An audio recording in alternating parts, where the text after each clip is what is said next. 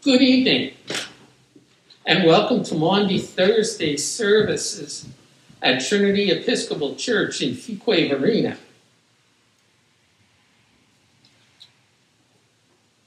The opening hymn is Come Labor On.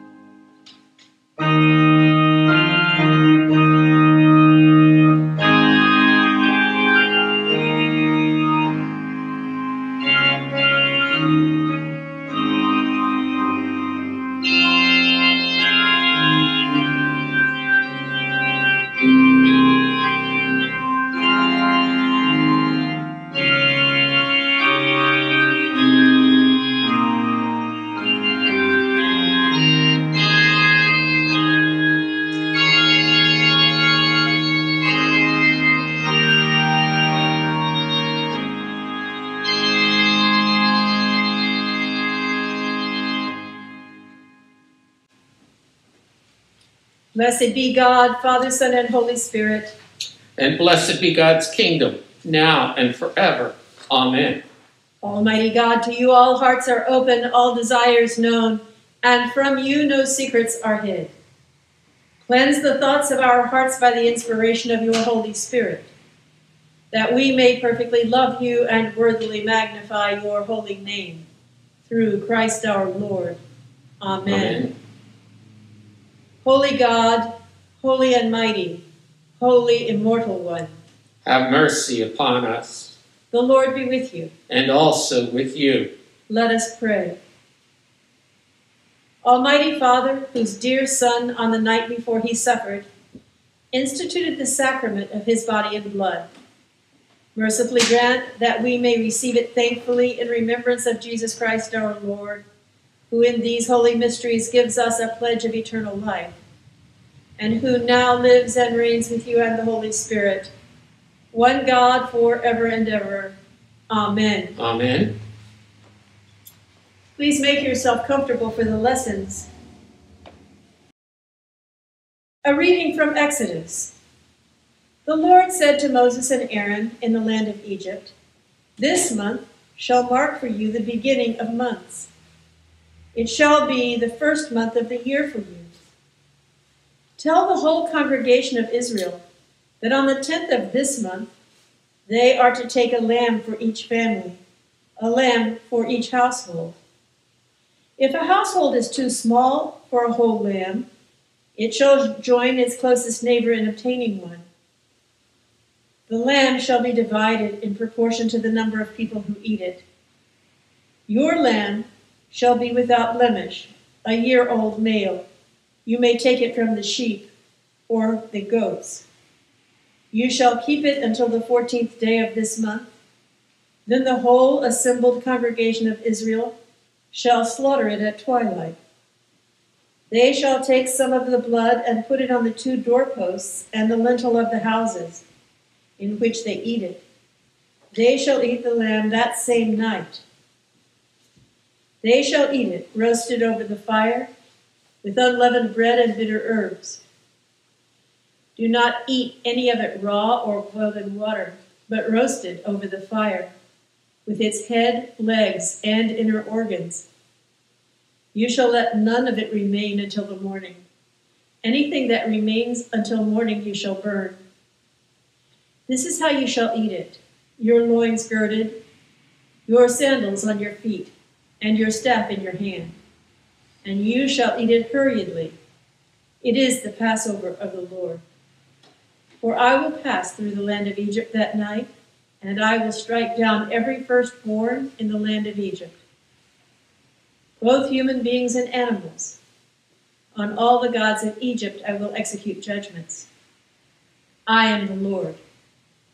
The blood shall be a sign for you on the houses where you live.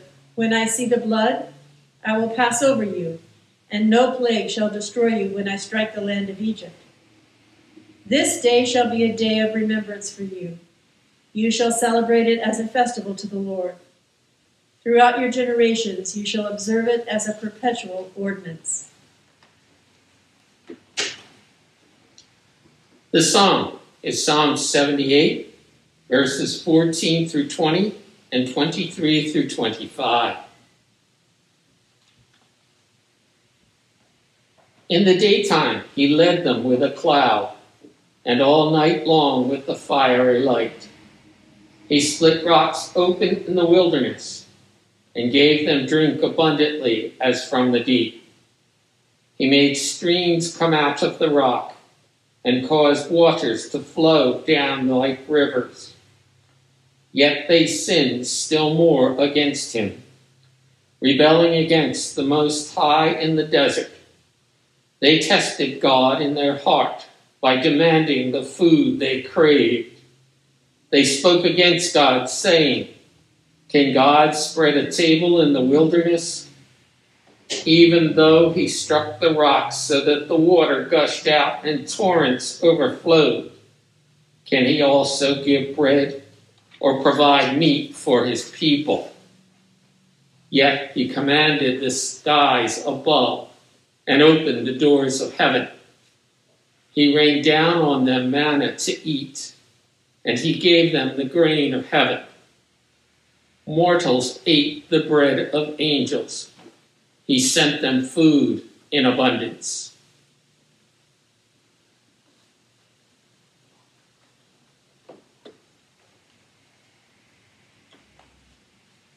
A reading from the first letter of Paul to the church at Corinth. For I received from the Lord what I also handed on to you that the Lord Jesus, on the night when he was betrayed, took a loaf of bread. And when he had given thanks, he broke it and said, This is my body that is for you. Do this in remembrance of me. In the same way, he took the cup also after supper, saying, This cup is the new covenant in my blood. Do this as often as you drink it, in remembrance of me. For as often as you eat this bread and drink this cup, you proclaim the Lord's death until he comes.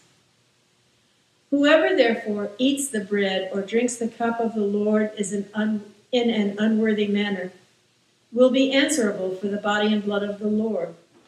Examine yourselves, and only then eat of the bread and drink of the cup. For all who eat and drink without discerning the body eat and drink judgment against themselves. For this reason, many of you are weak and ill, and some have died. But if we judged ourselves, we would not be judged. But when we are judged by the Lord, we are disciplined, so that we may not be condemned along with the world. The word of the Lord. Thanks be to God. The gradual hymn this morning is Were You There When They Crucified My Lord?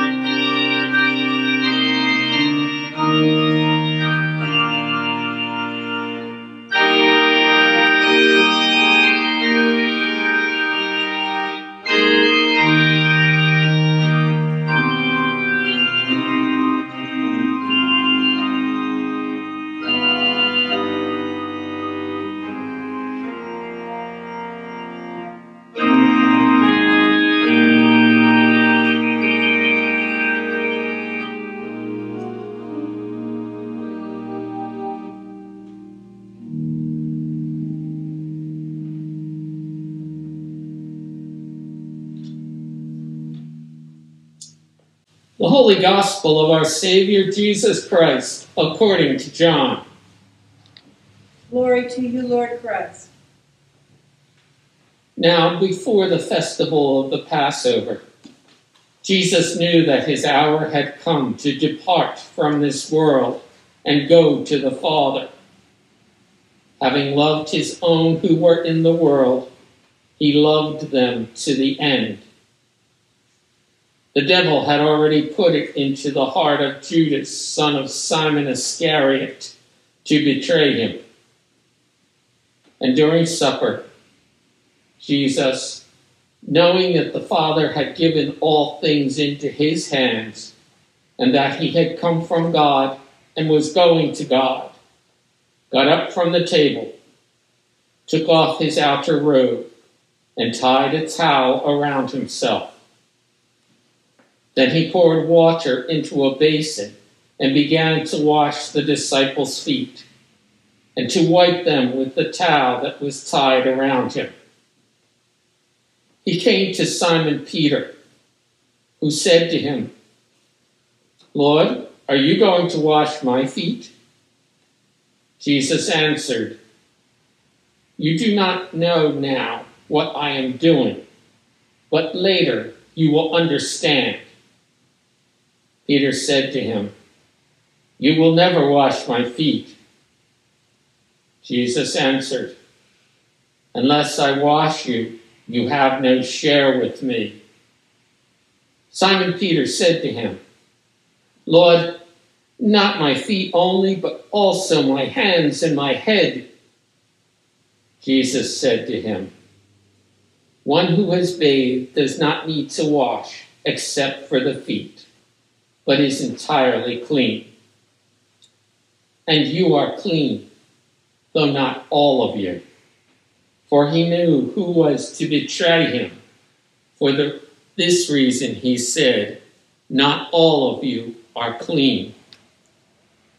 After he had washed their feet, had put on his robe, and had returned to the table, he said to them, Do you know what I have done to you?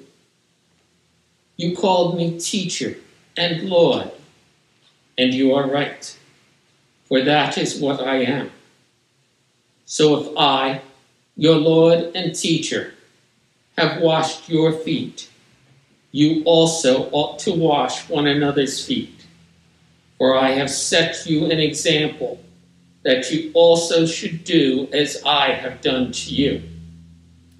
Very truly I tell you, servants are not greater than the master nor are messengers greater than the one who sent them. If you know these things, you are blessed if you do them. Now the Son of Man has been glorified, and God has been glorified in him. If God has been glorified in him, God will also glorify him in himself, and will, know, will glorify him at once. Little children, I am with you only a little longer. You will look for me. And as I said to the Jews, so now I say to you, where I am going, you cannot come. I give you a new commandment that you love one another. Just as I have loved you, you should love one another. By this, everyone will know that you are my disciples, if you have love for one another. The Gospel of the Lord. Praise to you, Lord Christ.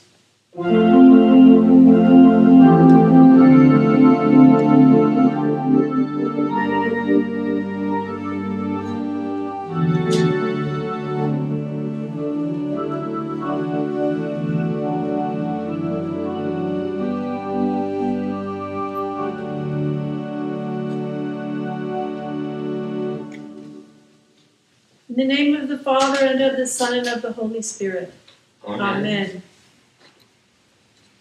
Right after the sermon this morning, we're going to wash feet. And right after the foot washing, there are some phrases to be read. I want to read the first of them to you today, right now, because I'll read it again at the appointed time, but it is directly related to what I want to say to you today. The Lord Jesus, after he had supped with his disciples and had washed their feet, said to them, Do you know what I, your Lord and Master, have done to you? I have given you an example that you should do as I have done. I've said so many times that Maundy Thursday is my favorite day to preach. Usually, when I preach on Maundy Thursday, I focus on the fact that this is the last time in Scripture that we see Jesus alive, healthy, walking on the earth, and talking to his friends. Because right after they have dinner tonight, they're going to go out to pray in the park and Jesus is going to be arrested. So remember, tomorrow is Good Friday. We are right at that critical moment.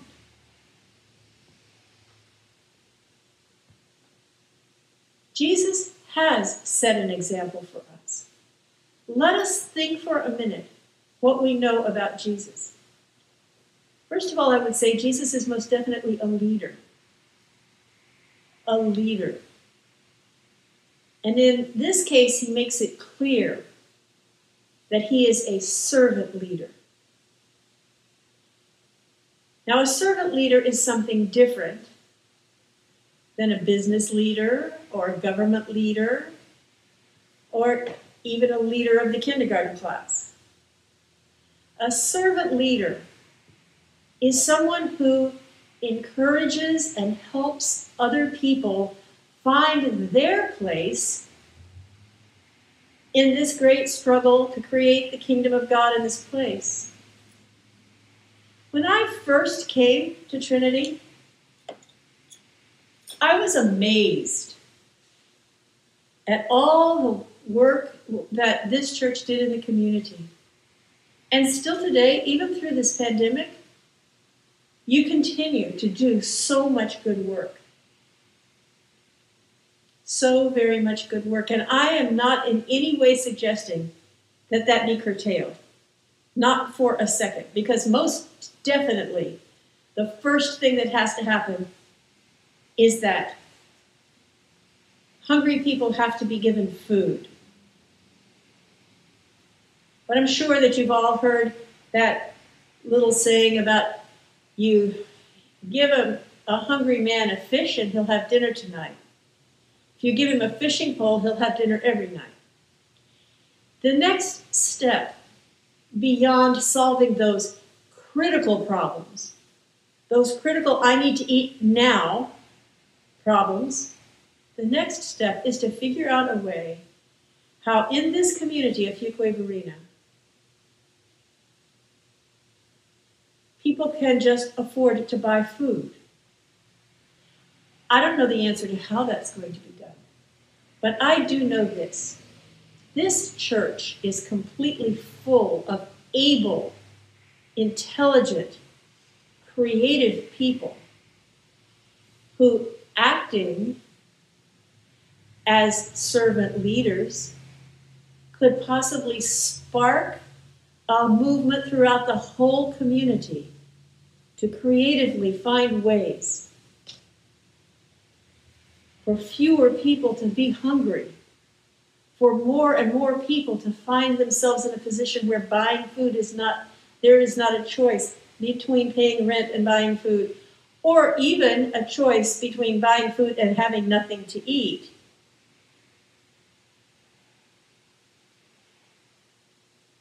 I can imagine that given the opportunity, this group of people right here at Trinity Church have the wherewithal to take their work to a step further, to take their work um, into the community in a way that encourages and inspires others to do the same. Because if everybody in this community cared about the hungry and the homeless in this community, they wouldn't be homeless or hungry very much longer. And you have the ability to do that. You have the ability to um, gather together the, the powers, the leaders, the, um, the servant leaders in this community. There are wonderful churches here. I'm sure that they are full of, of um, leaders who could join with you. We all know that there are hungry people here, and I would say that we know that primarily because of the great work that some of you do at the food pantry. But I've heard people in this community say that there are no homeless people here. And when I say in this community, I don't mean in this church. I mean out there in Fuquay-Varina. I know that's not true because I have visited them. And I know who they are. And if you gave it a lot of thought, you would know who they are too a few, just a tiny, tiny percent of them are, are actually have have emotional disorders that keep them wanting to be out of doors. Those people are not exactly homeless. They are choosing to make their home in the out of doors. Some of them are soldiers who have fought for this country that we all love and have come home so riddled with PTSD that they cannot function. They can't sleep. I can tell you right now if you cannot sleep, in about three days, you cannot work.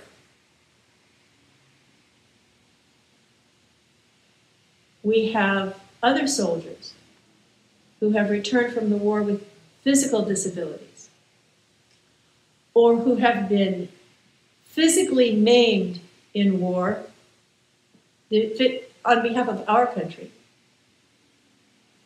and have come home from that war addicted to opiates. Neither of those two categories are their fault by any stretch of the imagination. And the very idea that they are in such dire straits should make each of our hearts absolutely shrivel. There are also the people who have lost their jobs, people who were working people who have lost their jobs in this pandemic because their employer closed. And they haven't been able to find another job because whatever it is they do, if their employer closed, chances are other people other employers who hire that kind of specialty or that kind of labor or whatever it is have also closed. There are no programs in this community for the homeless because so many people in this community think there are no homeless here. They live in the woods. Some of them live in their cars. Sometimes whole families are living in their cars. Sometimes those families are afraid to send their children to school because they're afraid that the authorities will discover that they don't have an appropriate home for their child. And that can be the grounds for removing a child from a family.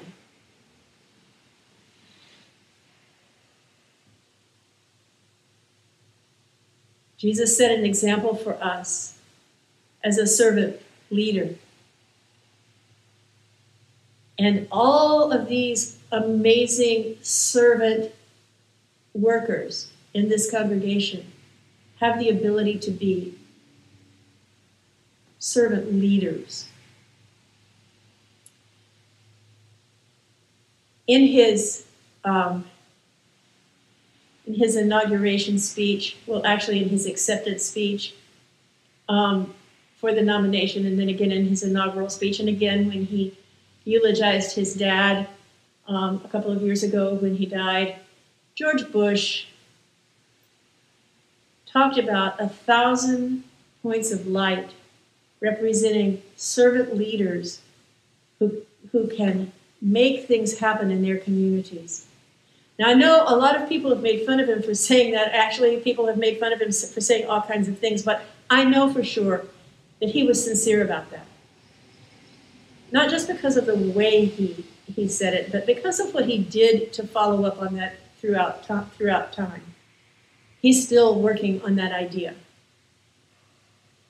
So for him, it wasn't, it was no joke whatsoever. It was a serious thought that in this, in this country, thousands and thousands and thousands of servant leaders could make such a difference.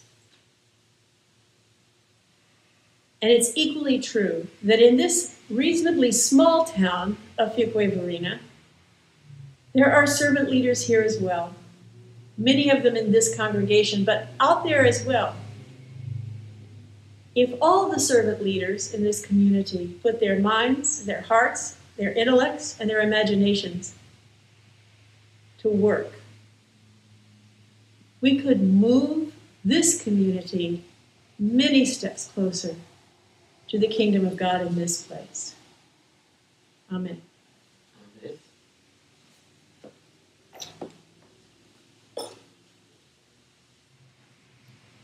Oh, for the days of acolytes.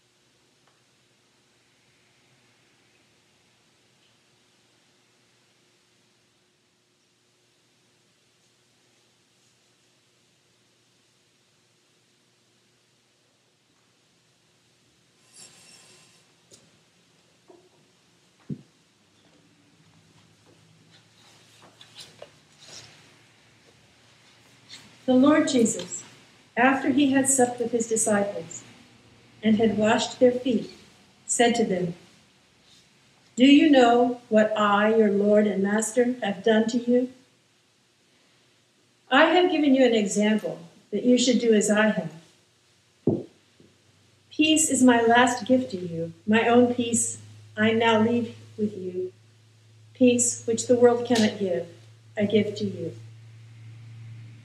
I give you a new commandment love one another as I have loved you. Peace is my last gift to you. My own peace I now leave with you. Peace which the world cannot give, I give to you. By this shall the world know that you are my disciples, that you have love for one another.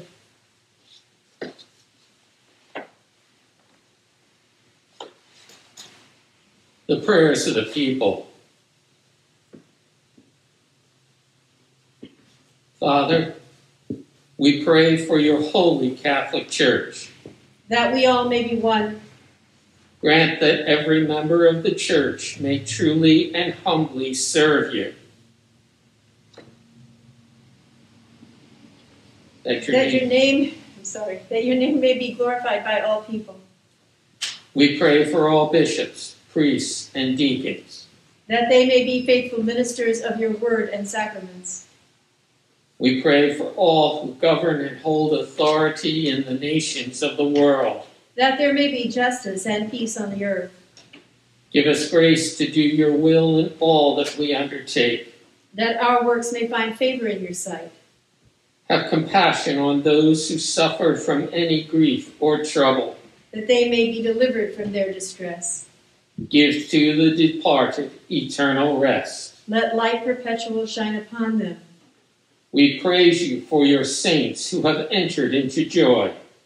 May we also come to share in your heavenly kingdom. Let us pray for our own needs and those of others. Lord Jesus Christ, you said to your apostles, Peace I give to you, my own peace I leave with you. Regard not our sins, but the faith of your church, and give to us the peace and unity of that heavenly city, where with the Father and the Holy Spirit you live and reign now and forever. Amen. Amen. Let us confess our sins against God and our neighbor. Most merciful God, we confess that we have sinned against you in thought, word, and deed, by what we have done and by what we have left undone. We have not loved you with our whole heart. We have not loved our neighbors as ourselves. We are truly sorry and we humbly repent for the sake of your Son, Jesus Christ. Have mercy on us and forgive us that we may delight in your will and walk in your way to the glory of your name. Amen.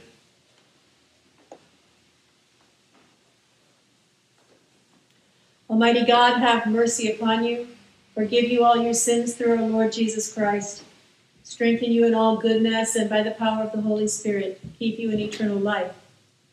Amen. Amen. The peace of the Lord be always with you. And also with you. Let us with gladness present the offerings and oblations of our life and labor to the Lord. And the offertory hymn this morning is the servant song.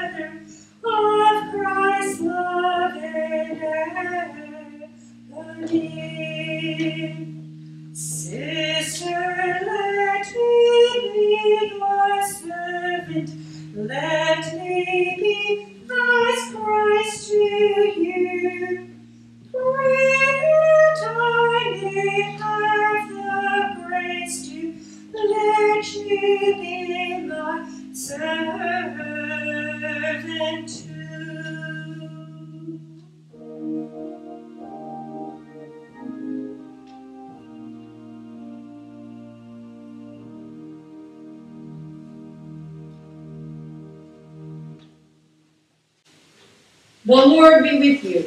And also with you. Lift up your hearts. We lift them to the Lord. Let us give thanks to the Lord our God. It is right to give God thanks and praise. It is right and a good and joyful thing always and everywhere to give thanks to you, Father Almighty, creator of heaven and earth. Through Jesus Christ our Lord, for our sins he was lifted high upon the cross, that he might draw the whole world to him. And by his suffering and death, he became the source of eternal salvation for all who put their trust in him. Therefore we praise you, joining our voices with angels and archangels and with all the company of heaven, who forever sing this hymn to proclaim the glory of your name. Holy, holy, holy Lord, God of power and might, heaven and earth are full of your glory. Hosanna in the highest. Blessed is he who comes in the name of the Lord. Hosanna in the highest. Holy and gracious Father, in your infinite love you made us for yourself. And when we had fallen into sin and become subject to evil and death, you in your mercy sent Jesus Christ, your only and eternal Son, to share our human nature, to live and die as one of us, to reconcile us to you, the God and Father of all.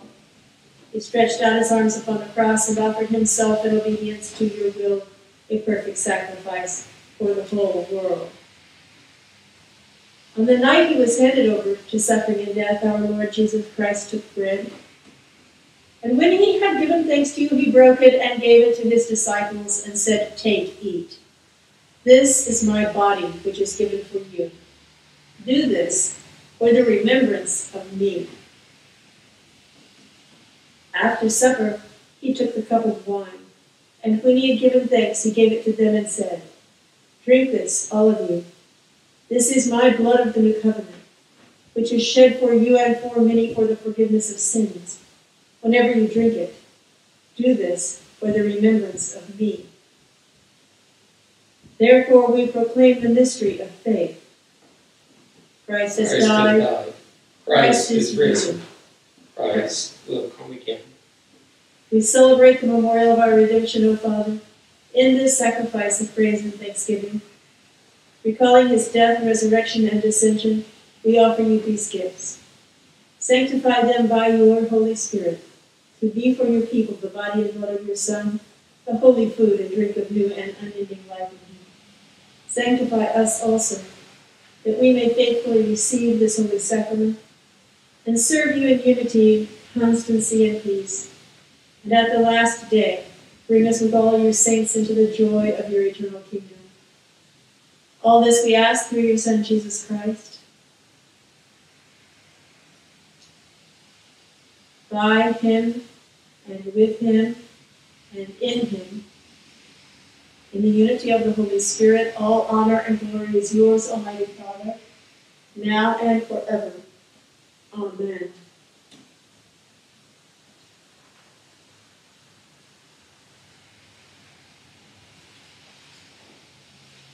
And now, as our Savior Christ has taught us, we are bold to say, Our Father, who art in heaven, hallowed be thy name. Thy kingdom come, thy will be done, on earth as it is in heaven. Give us this day our daily bread, and forgive us our trespasses, as we forgive those who trespass against us. And lead us not into temptation, but deliver us from evil. For thine is the kingdom, and the power, and the glory, forever and ever. Amen. Amen. Christ our Passover is sacrificed for us. Therefore, let us keep the feast. Lamb of God, you take away the sins of the world. Have mercy on us. Lamb of God, you take away the sins of the world. Have mercy on us. Lamb of God, you take away the sins of the world. Grant us peace. The gifts of God for the people of God, taken in remembrance that Christ died for you, and feed in your hearts by faith with thanksgiving.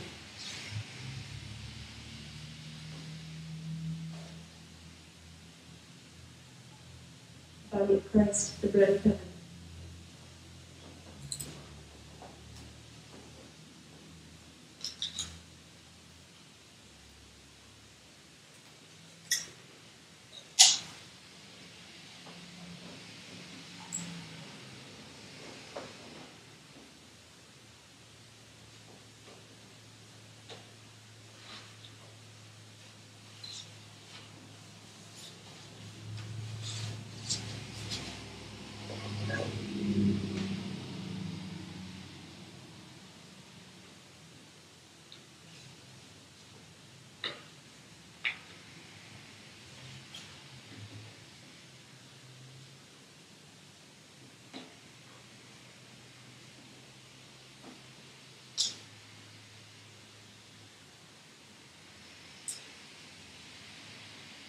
Let us pray. Eternal God, Heavenly Father, you have graciously accepted us as living members of your Son, our Savior, Jesus Christ. And you have fed us with spiritual food in the, in the sacrament of his body and blood. Send us now into the world in peace, and grant us strength and courage to love and serve you, with gladness and singleness of heart. Through Christ our Lord. Amen. Amen. The blessing of God Almighty, the Father, the Son, and the Holy Spirit be among you today and remain with you always. Amen. Please stay in your seats until we uh, finish the stripping of the altar.